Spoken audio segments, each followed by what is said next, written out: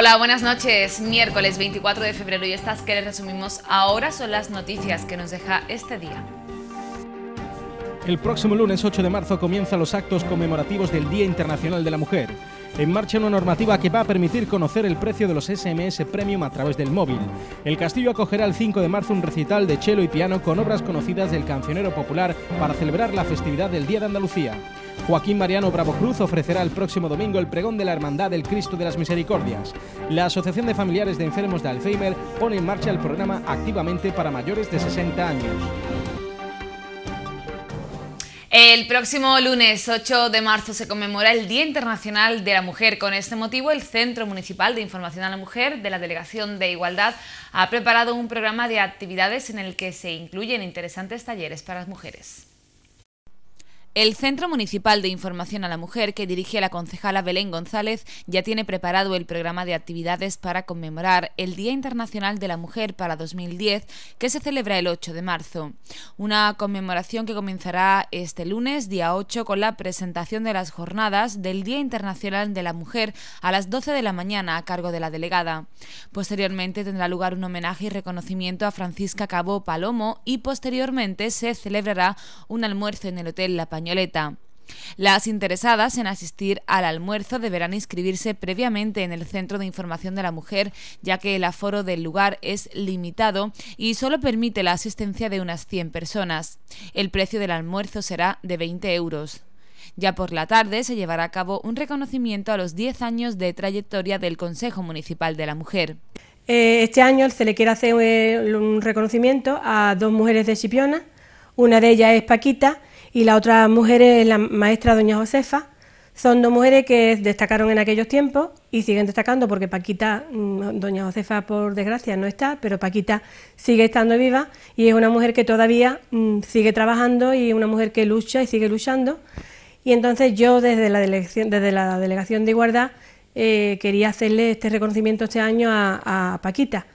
También se le ha hecho a, a esta mujer, que en sus tiempos fue maestra, como ya he comentado, y es una mujer que también se lo merece, porque es una mujer que estuvo luchando y trabajando mucho también con mujeres de aquella época. Entonces, sus mismas alumnas han sido las que me han venido a solicitar que le pusiéramos la calle, la calle, la calle nueva, el nombre de, esta señora, porque esta mujer también vivía en esa calle y entonces sus mismas, como ya he comentado, sus mismas alumnas son las que han solicitado eh, que le pusiéramos y le hiciéramos reconocimiento este año también a esta mujer. El día 8 se le hace ya la, se le hace a Paquita el reconocimiento suyo, que lo vamos a hacer en el salón de pleno a las 12 de la mañana, y después también tenemos un almuerzo con todas las mujeres del pueblo, todas las mujeres que quieran participar, y el día 26 de marzo, ya terminando el mes, le vamos a hacer el reconocimiento a, a la otra señora que he comentado, a la maestra doña Josefa, que le vamos a hacer, le vamos a poner por fin el nombre, el nombre de la calle nueva, le vamos a poner el nombre de su nombre ya el martes, día 9 de marzo, tendrá lugar el taller de la Supermujer al trabajo compartido en el Castillo, organizada por la Diputación de Cádiz. Se trata de un taller dirigido a mujeres en general, para el que será imprescindible inscribirse previamente en el Centro de Información a la Mujer, en calle Larga, edificio Las Palmeras.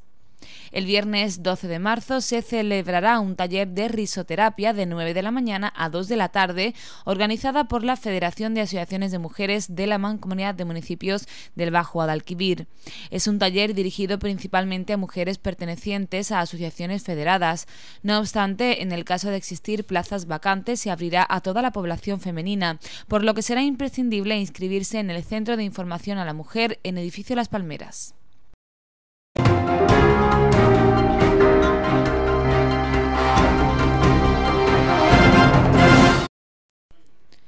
Tras la celebración el pasado miércoles 17 de febrero del sorteo público para la adjudicación de 16 viviendas públicas en el Matadero, la Delegación Municipal de la Vivienda que dirige María del Mar Gómez mantuvo la pasada semana la primera toma de contacto con los adjudicatarios de las mismas para darles a conocer en qué consiste a partir de ahora todo el proceso. La adjudicación de estas viviendas se divide en tres cupos. Un cupo de 10 viviendas en venta de régimen general de tres dormitorios, un cupo de una vivienda en venta de régimen general de un dormitorio y un cupo de cinco viviendas en régimen especial de tres dormitorios. Que bueno, en primer lugar le enseñamos todos los planos de las viviendas que ellos han sido adjudicatarios, vieron por primera vez en plano las viviendas a las que ellos van a ceder, les estuvimos explicando también el tema de pago de todas las viviendas, les explicamos cómo desde la empresa municipal Caipieni pues estamos gestionando varios tipos de subvenciones, porque bueno, como bien sabéis todos, pues el decreto ley plan de vivienda 2008-2012 pues tiene bastantes subvenciones tanto para mm, jóvenes como para primera vivienda como para mayores de 35 años según los regímenes en el cual hayan sido adjudicatarios. Como en este caso la promoción pues ha sido en dos regímenes, en el cual ha sido de régimen general y de régimen especial, pues estamos gestionándole a todos los adjudicatarios de la vivienda subvenciones a través de la Junta de Andalucía. Bueno, deciros también que estamos trabajando desde la empresa municipal para todas aquellas familias que necesitan vivienda. Hemos mantenido también una reunión, hoy mismo la hemos mantenido con la urbanismo y varios técnicos de la empresa Caipionis para el tema de la UE5. Estamos trabajando en varias manzanas de la UE5 para las siguientes promociones de viviendas que, que, vamos a realizar en nuestro pueblo. Yo deciros también que bueno que la primera piedra estamos barajando por los trámites burocráticos, como le estuvimos comentando a todos los vecinos de Matadero, que todo es un trámite porque nosotros somos un mero intermediario con la Junta de Andalucía y nosotros, pero bueno, si todos los trámites van bien, entre finales de marzo y el mes de abril empezamos ya las obras y las primeras piedras de matadero. Deciros que este equipo de gobierno está trabajando en temas de vivienda al 100%, aunque bueno, hay personas que piensan que no, pero realmente deciros que ahí está a la vista, que seguimos trabajando al 100% para todos los chipioneros y que vamos a seguir trabajando. La Oficina de Información al Consumidor anuncia la puesta en marcha de una nueva normativa que va a permitir conocer el precio de los mensajes premium al teléfono móvil y lo va a permitir de una forma muy sencilla, tan solo comprobando el primer dígito del número al que vamos a enviar el mensaje sabremos el coste del mismo. La Oficina de Información al Consumidor del Ayuntamiento de Chipiona ha informado que a través de una orden ministerial se ha regulado los SMS Premium, por lo que a partir de ahora será mucho más sencillo conocer con exactitud lo que nos vamos a gastar tan solo comprobando el primer dígito del número al que se va a enviar el mensaje. La normativa dicta lo siguiente: números de cinco cifras que comiencen por 25, 27, 29 y 28 serán los números destinados a campañas benéficas y tendrán un precio inferior o igual a 1,2 euros. Números de cinco cifras que comiencen por 35, 37 y 39 tendrán un precio entre 1,2 euros y 6 euros. Números de seis cifras que empiecen por 795, 797 y 799 tendrán servicios de suscripción con precio por mensaje recibido inferior o igual a 1,2 euros. Números de seis cifras que comiencen por 995, 997 y 999 destinados a servicios exclusivos para adultos de precio inferior o igual a 6 euros. Por otro lado, la nueva regulación prohíbe que se exija a los consumidores el envío de dos o más mensajes consecutivos para solicitar un servicio y establece que para cancelar las suscripciones baste con la palabra baja. Además, estará prohibido que la empresa continúe con la suscripción si ha recibido ese mensaje. La nueva regulación también garantiza el derecho de los usuarios a solicitar a su operador la desconexión de estos servicios y a que en las facturas se desglose la parte correspondiente a la tarificación adicional. En cuanto a los concursos, con la nueva normativa deberán contar con las correspondientes bases depositadas ante notario y cada vez que un concursante emita un voto deberá recibir un mensaje de confirmación.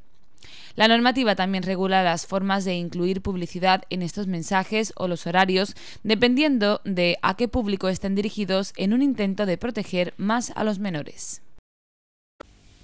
El próximo viernes 5 de marzo el Castillo de Chipiona acogerá un recital de cello y piano. Se trata de un concierto puesto en marcha por el área de cultura del Ayuntamiento de Chipiona y Juventudes Musicales. En él sus autores han realizado una recopilación de los temas más conocidos del cancionero popular con motivo de la festividad del Día de Andalucía. El próximo viernes 5 de marzo el Castillo de Chipiona acogerá un recital de cello y piano de canciones populares de Federico García Lorca con obras de Turina y Albéniz que ofrecerán Elia Isabel García Ruz al piano y Pilar Muriel Delgado al cello. Se trata de un concierto organizado por el área de cultura con la colaboración de Juventudes Musicales. Los músicos han realizado una selección de las obras más conocidas del cancionero popular con motivo de la reciente festividad del Día de Andalucía, junto a algunos de los compositores españoles de mayor renombre a lo largo de la historia de la música española. Entre las obras elegidas para el programa destacan las canciones populares de Federico García Lorca, obras de Albéniz y Turina, interpretadas al violonchelo por Pilar Muriel y al piano por Elia García. De este modo, pretenden realizar su particular homenaje a grandes figuras andaluzas como Federico García Lorca. El programa es el siguiente: Los Reyes de la Baraja, Los Mozos de Monleón, Romance de Don Boiso, Las Morillas de Jaén, canción popular del siglo XV, Anda Jaleo, Nana de Sevilla, Mallorca de Albeniz y Generalife, danza gitana de Turina. Se acerca la Semana Santa de Chipiona de 2010 y con este motivo las hermandades de nuestra localidad ponen en marcha sus diferentes actividades y comienzan con los movimientos típicos de estas fiestas. Precisamente la Hermandad del Cristo de las Misericordias ha comenzado esta misma semana su solemne quinario y anuncian ya que el próximo domingo ofrecerán su pregón. La Hermandad del Santísimo Cristo de las Misericordias, Nuestra Señora de la Piedad y María Santísima de la Soledad celebra desde el pasado lunes 22 de febrero y hasta el viernes 26 el solemne quinario que comienza a las 8 de la tarde en la parroquia Nuestra Señora de la O. Pero además la Hermandad anuncia que coincidiendo con los actos de Cuaresma realizará el pregón en honor de sus titulares el próximo domingo 28 de febrero a la una de la tarde en la ermita. Un pregón que correrá a cargo de Joaquín Mariano Bravo Cruz, en el que será acompañado por los saeteros Enrique Jaén y Lourdes Torres. Tras la finalización del pregón, la Hermandad procederá a la presentación del cartel de la propia Hermandad para la Semana Santa de 2010. La Asociación de Familiares de Enfermos de Alzheimer pone en marcha un nuevo taller en esta ocasión para mayores de 60 años. Se denomina activamente y el objetivo no es otro que animar a las personas mayores a que realicen actividades para ejercitar la mente y otras habilidades. La Asociación de Familiares de Enfermos de Alzheimer Faro de Chipiona anuncia la puesta en marcha del programa activamente dirigido a personas mayores de 60 años que deseen potenciar sus habilidades de memoria y otras capacidades. Este programa consiste en una serie de sesiones semanales en las que se va a entrenar y potenciar la capacidad mental de los mayores con el objetivo de ejercitar la mente. Para ello se abre el periodo de inscripción del 1 al 15 de marzo que será imprescindible para poder participar en este programa. La asociación recuerda que esta actividad será totalmente gratuita para los socios y socias y pone a disposición de todos los interesados en obtener información el teléfono 956 37 47 15. Por otro lado, la asociación convoca a todos sus socios y socias a la asamblea ordinaria que se celebrará el próximo viernes 5 de marzo a las 7 de la tarde en la sede de la asociación en calle Virgen de la Consolación número 20.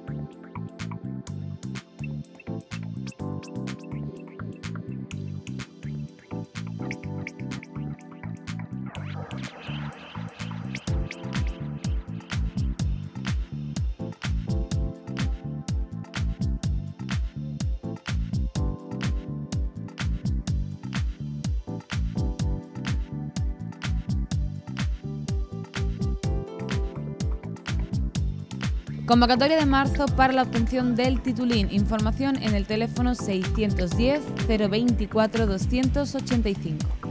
Actos del Día de la Mujer que se celebra el día 8 de marzo. Este día a las 12 será la presentación de las jornadas y reconocimiento a Paquita Cabo Palomo.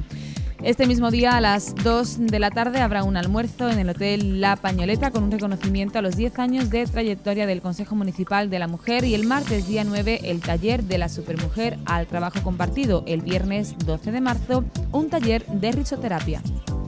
Vía Crucis Penitencial de la Hermandad del Rocío se celebrará el 6 de marzo, salida del apiadero de autobuses a las 6 de la mañana, precio 12 euros por persona. Solemne Quinario de la Hermandad del Cristo de las Misericordias se celebra del 22 al 26 de febrero a las 8 de la tarde en la parroquia Nuestra Señora de la O. El domingo día 28 a la 1 de la tarde será el pregón de la Hermandad y la presentación del cartel. Pues no parte nada más, es todo. Finalizamos recordándoles que después de este informativo pueden ver hoy el desfile de la colección flamenca 2010 de Azabache. Tras este informativo no se lo pierdan. Nosotros volvemos mañana a las 10 con toda la información local. Hasta entonces, gracias por estar ahí. Buenas noches. Adiós.